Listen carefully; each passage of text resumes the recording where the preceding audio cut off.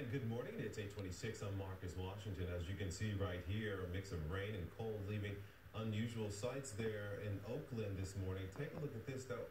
Well, we saw something there. Sorry for that. We do apologize for that. But right now, we want to get to meteorologist Kari